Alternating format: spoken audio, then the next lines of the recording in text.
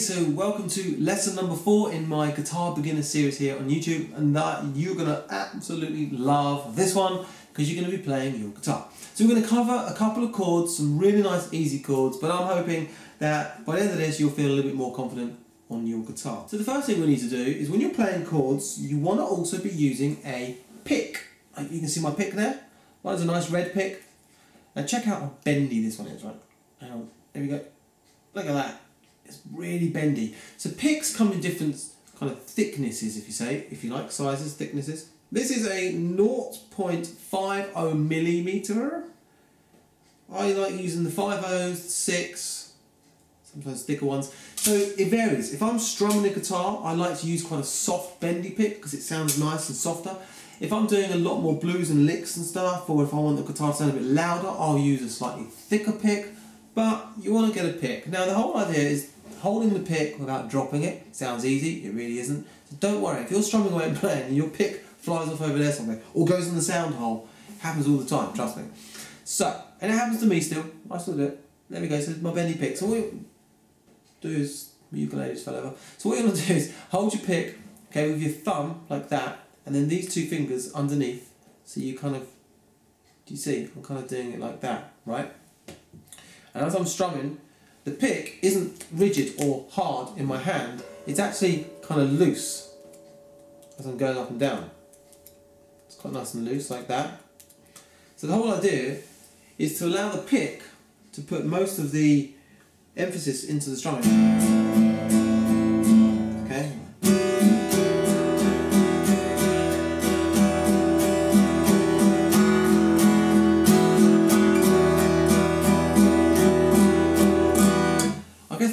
To think about, and this is a teacher said this to me. Well, not really a teacher. I had this the guy.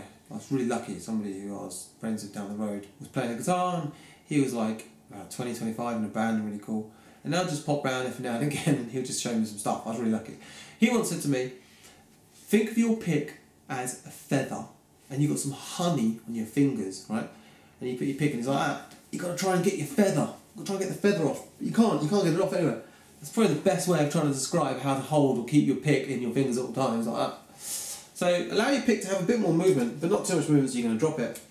Uh, make sure it's not too thick, make sure you're comfortable with it, and just get used to holding your pick. So I've got my two fingers there, as you can see they're covering almost uh, the top quarter of the pick, not halfway across. The thumb is probably covering about the halfway line of the pick, like that, okay?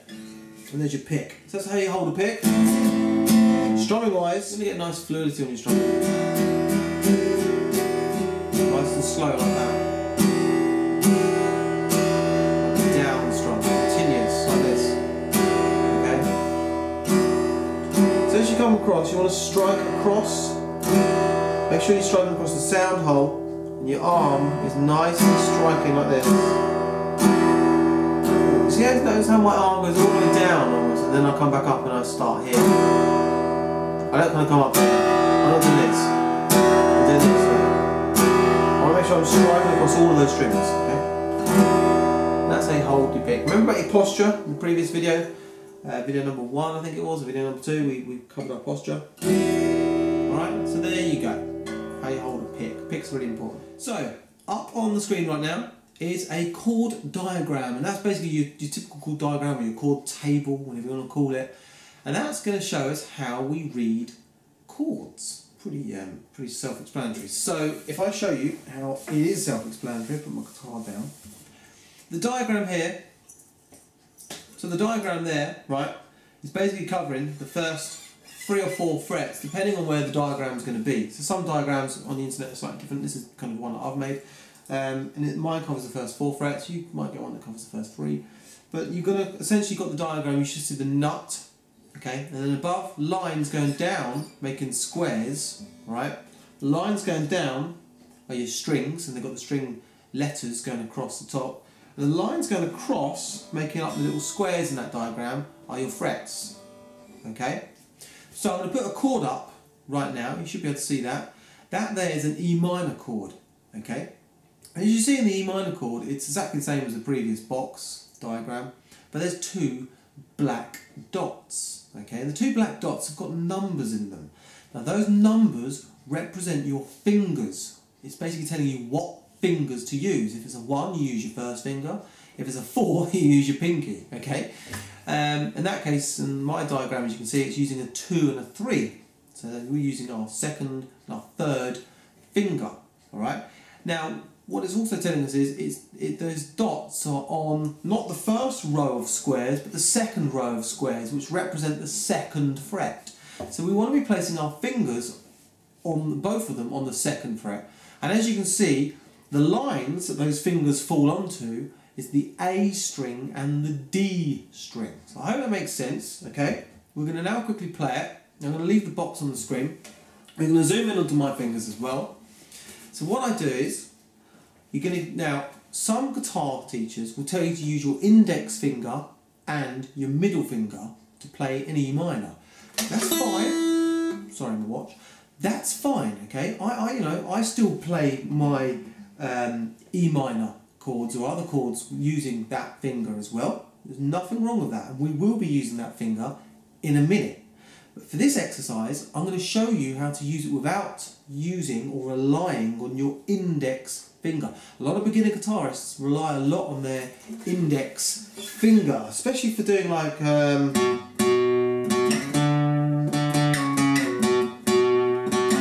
like slides and licks and riffs. They rely heavily on the index finger. And then when it comes to other things later on down the line, they kind of go, oh God, my pinky and my ring finger is not that strong and oh gee, I'm going to really struggle with this. And they've been playing for six months. It's like, because you've been using your index finger pretty much for the last six months. So you want to get away from the habit of just relying on the index finger, okay? So in this case, we're not going to use our index finger for our E minor. We will use it again in a minute for our E minor, and that will become more apparent, don't worry. I'm not confusing you here, this will all make sense in just a mini top. So we're going to be using our ring finger and our middle finger. That's not swearing, is it? No, no, it's good. There we go. And we're going to be putting our ring finger, no, middle finger first, middle finger, I'm trying not to swear, it's really difficult. Middle finger uh, onto the A string, the second fret of our A string. So you should be able to see that now zoomed in, okay, like there. And you want to press down nice and hard on that, and you can see the tip of my finger where the line goes of the string. Okay, you're going to get a bit of callus, meaning that the tips of your fingers are going to really hurt. Sometimes they might bleed. Like really, seriously, they do.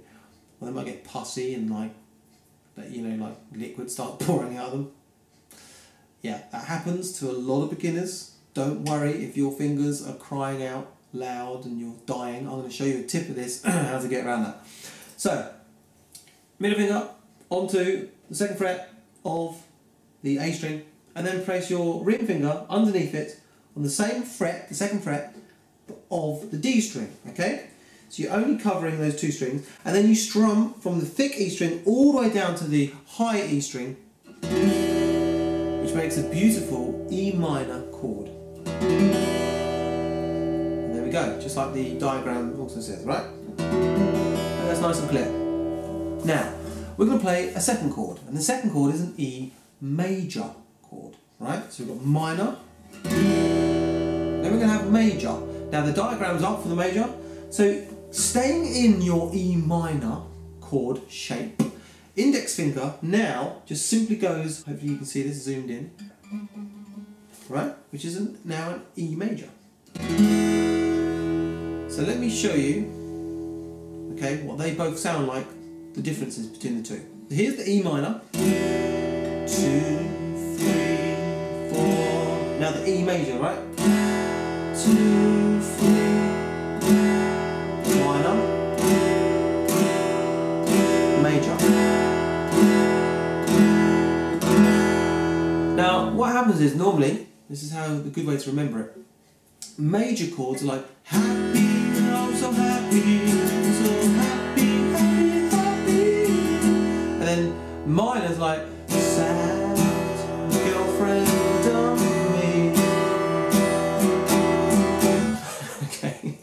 best way of describing it, right? But what you're going to find is in songs, you don't just get a bunch of majors in one song and a bunch of minors in the other they all mix. You get major and major, major and minor chords mixed all, to, all the time in one song because it allows the song to have its up and down and to express itself with its emotion.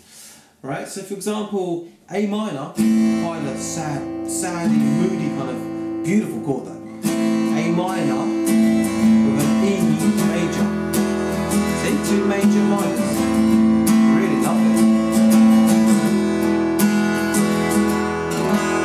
There you go. So, I want you to quickly go through with me right now. E minor, and then place your index finger down on the first fret for the E major. Alright? Now, normally when we call out chords, and when you hear chord names, we never really say the major element. We just say, could you play me an E chord? Or could you play me an A chord, please? Or could you play me a C? Yeah, thanks.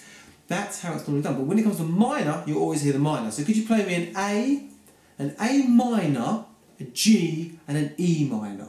right? So that's the only time when you ever hear the minors. You never hear someone say, can you play me an A major, an A minor? You never hear the major, so just be cautious of that, right? So you only hear an A or an E, and then if the only difference is if it's a minor, then you know what the chord is. So we're going to do this together. Play along with me. It's a little quick exercise. You can play this on your own after we finish the video. We're going to do down strums, just a count of four, okay? And when I say and, you then put your finger down, index finger, onto the first fret, playing an E chord, and then lift it again for the E minor, back on again for the E, lift again for the E minor. So we can start with our E minor, it's going to be like this, right? Off three, one, two, three. This is, just, this is like a me showing you. One, two, three, and E, and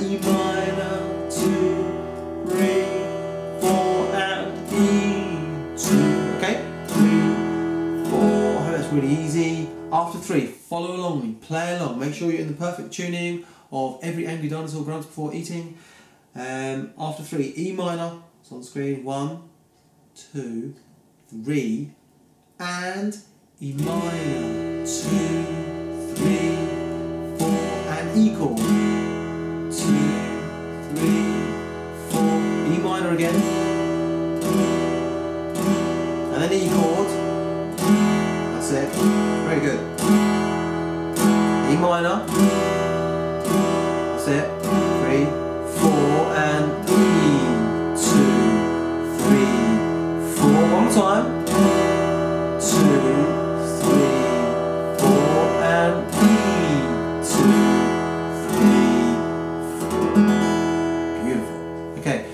You followed along with that. If you didn't, just re- rewind this video again and go over that little exercise. I just wanted you to play something and enjoy something um, and just show you how easy it is to apply in two chords that sound quite different and it sounds really nice, right? So, hope that was clear.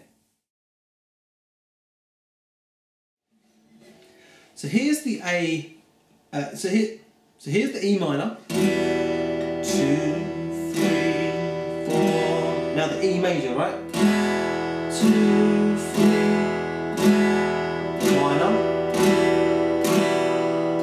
major. Now, what happens is normally, this is how the good way to remember it. Major chords are like happy, I'm so happy, so happy, happy, happy. And then minors like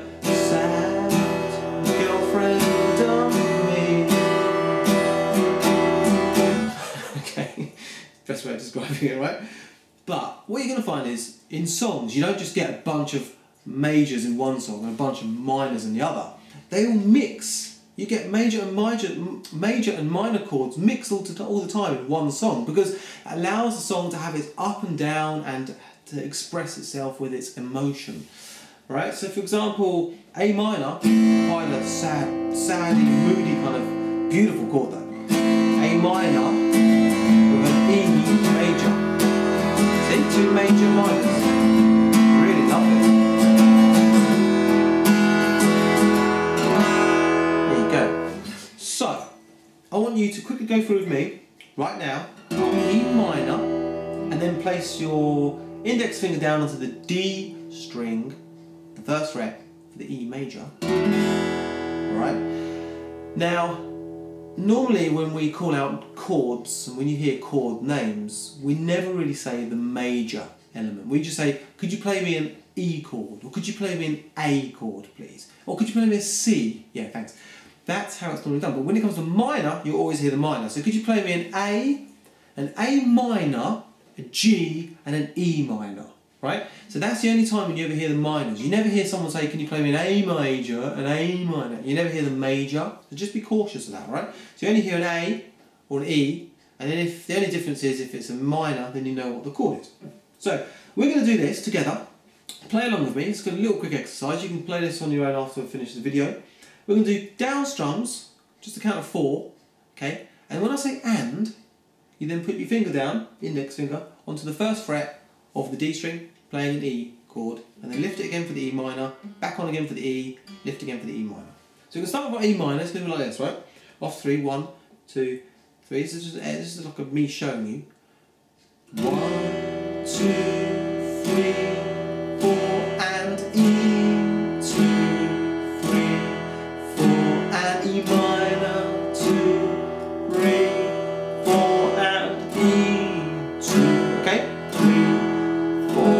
really easy. After three, follow along me, play along, make sure you're in the perfect tuning of every angry dinosaur grunts before eating. Um, after three, E minor, it's on screen, one, two, three, and E minor, two, three, four, and E chord, two, three, four, E minor again, and then E chord, it, very good, E minor, that's it, three, four, and E, two, three, four, one more time,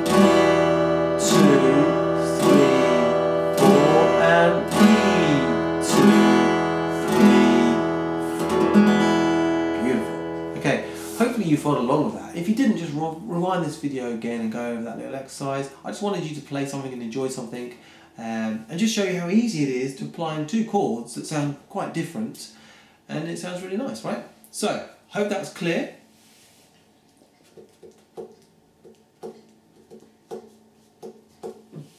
Now, the next two chords we're going to play quickly together, okay, I'm going to show you, is the E minor again. This time we're going to go to an A, okay? It is an A major, we're just going to call it an A, an A. Now an A, okay, again, I advise you to play it, if you can, two ways, okay? This is your choice. You can either play it, we're going to zoom in, with our first finger on the second fret of the D string, then our second finger on the second fret of the G string, and then our ring finger, which is our third finger, on the B string of the second fret. It's quite scrunchy in there, but, and this time, you don't play down with our open, thick, low E string, we play down from the A string. Because the A string here is an open A, that's the root note really of this chord. It makes it kind of because when you play it, when you first the first string you play is an A, A, and all the rest of the notes beautifully combine as the A chord. Don't want to hit that thick in there because it'll sound like this. Sounds horrible. There's okay? That's a great way of playing an A. Eh? The other alternative, if you don't want to rely on index as well, is try and play it both ways, is by this time putting your pinky on the B string of the second fret, then your ring finger on the G string of the second fret, and then your middle finger on the D string of the second fret. So the only difference is now you've got your pinky in there and you're not relying on that index finger again. And again, playing down from the A string. Alright? So whichever way you want to play uh, is entirely up to you. So we're going to go E minor, down to A, E minor, A. Okay, in the same timing, just down strums. Ready after three. Get ready. One, two, three, and E minor, two, three,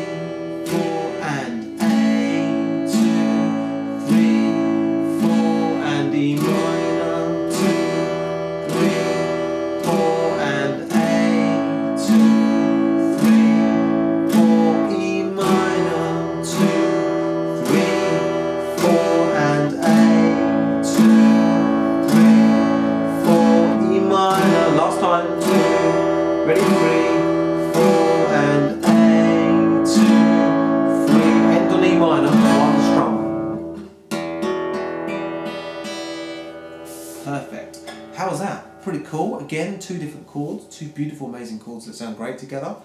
Um, and nicely as well, they were both in the same fret that time, the E minor and the A chord. Okay, so I hope that really helped.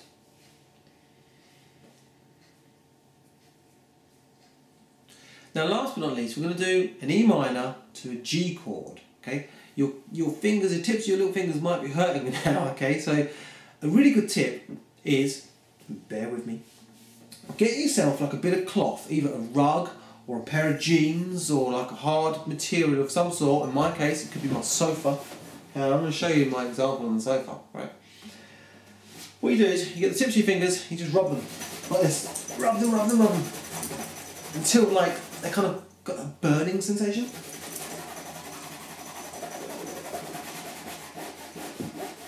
And then, for some strange reason, it completely and utterly just helps your fingers out. I remember doing it once as a kid, just like I was like, oh, my fingers are killing me, my fingers are killing me. And I remember rubbing them on, I think, my school trousers or something like that, or a blazer. And I was like, oh, wow, that really helped. Now I use like a rug sometimes, sofa, a pillow, whatever it is. You've got hard kind of material, it's kind of like a scratchy material. And for some weird reason, it really helps out the tips of your fingers because playing all these chords and everything is going to kill your fingers. So our last two chords together at the moment, then I'm going to go through all the nine important open chords you need to learn and you must need to know under your belt as a guitar player. We're going to go through those at the end of this um, lesson. So our last two chords, we're going to do an E minor again, okay, and the last chord is a G.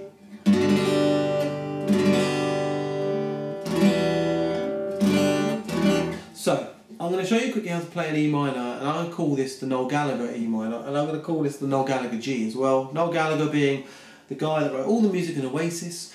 He used to play, or he does play, his E minors and his Gs like this. I'm going to zoom in. What you're going to have is you're going to have these two fingers, your pinky and your ring finger, glued at all times to the third fret of the E and the B string, like this, right? So you put your pinky, it's going to feel a bit weird putting your pinky there, but I do recommend this because it's going to strengthen your pinky up, and the end, the end especially. Okay, so do this, right? Put your pinky down on the third fret of the high E string, and then put your ring finger above it on the third fret of the B, and make sure you've got some nice clean notes. Good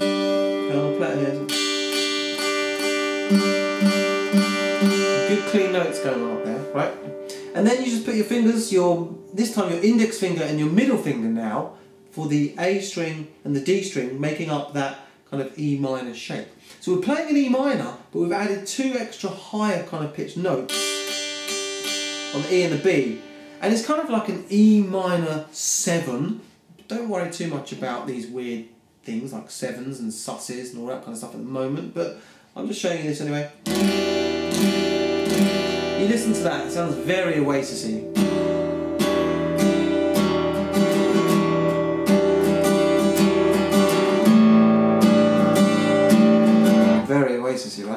So, hopefully that shape makes sense. Okay, it's like an E minor 7. And then all we're going to do, because we're playing a G, and this is the reason why I said to you we could be using our index finger now. So it's good to use your index finger um, and then not use your index finger for similar chords or the same chords, just to strengthen other fingers up. We're then going to get our middle finger, we're going to take it off the D string of that second fret, and it's going to go over onto the third fret of our thick E string. That's a G, keeping those fingers there all the time. So the only finger you're moving is this one. E minor, G, E minor, G, E minor, G, E minor. That's the, that's the movement we're doing. Really easy, right? So, here we go. After three, exactly the same, down strum, and all you're doing is moving that one finger there. So these two fingers should be glued. That finger should be glued on the um, second fret of the A, and your middle finger is just going to be moving back and forth like that. After three. One, two, three, and one, two,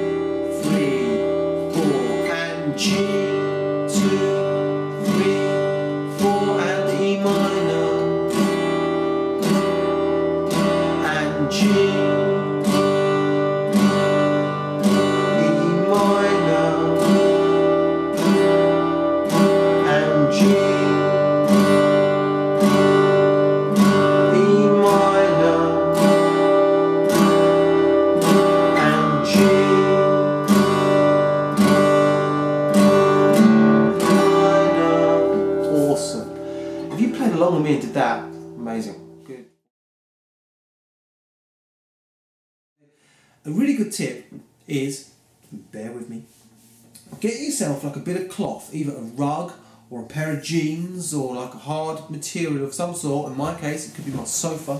And I'm going to show you my example on the sofa, right? What you do is you get the tips of your fingers, you just rub them like this, rub them, rub them, rub them, until like they kind of got a burning sensation.